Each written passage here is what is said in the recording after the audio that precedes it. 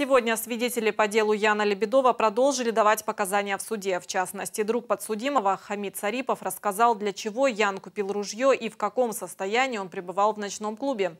По версии следствия, Лебедов стрелял в Ивана Климова в марте прошлого года. Тогда известный спортсмен выжил, после долгой реабилитации пошел на поправку, но спустя 7 месяцев был зарезан во дворе собственного дома.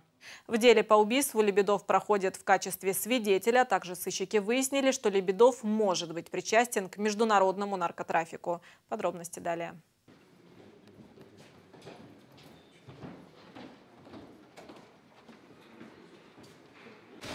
Компания из пяти человек отдыхали.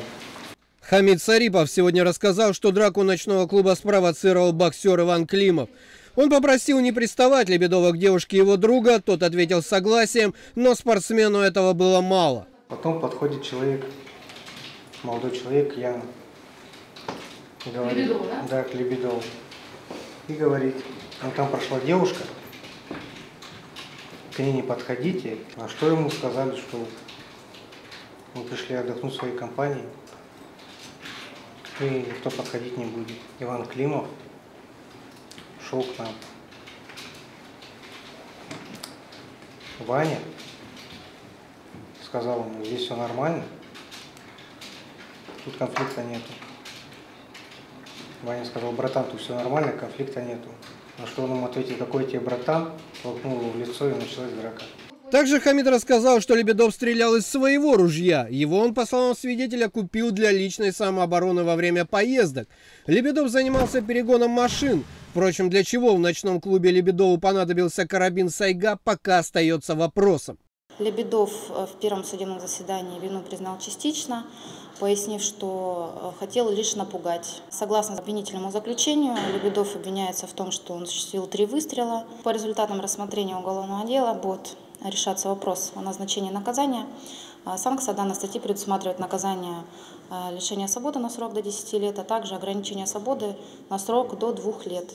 Сейчас Лебедова обвиняют только по одной статье, а именно в причинении тяжких телесных повреждений Ивану Климову. Однако следователи отрабатывают версию о причастности Лебедова и его окружения к убийству боксера. Кроме того, сыщики проверяют информацию о возможной причастности Лебедова к незаконному обороту наркотиков. Подготовлен э, запрос об оказании между, международно-правовой помощи. Сейчас э, это процесс достаточно долгий.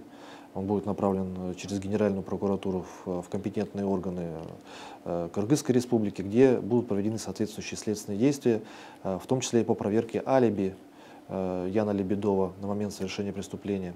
И в том числе следственными органами инициирована проверка той информации о возможной причастности Яна Лебедова и лиц из числа его окружения к деятельности, связанной с незаконным оборотом наркотиков, в том числе и из, за пределами э, Российской Федерации. Проверка информации о наркоторговле и расследование уголовного дела по факту убийства продолжаются. В разгаре и судебный процесс. На следующем заседании допрос свидетелей продолжат.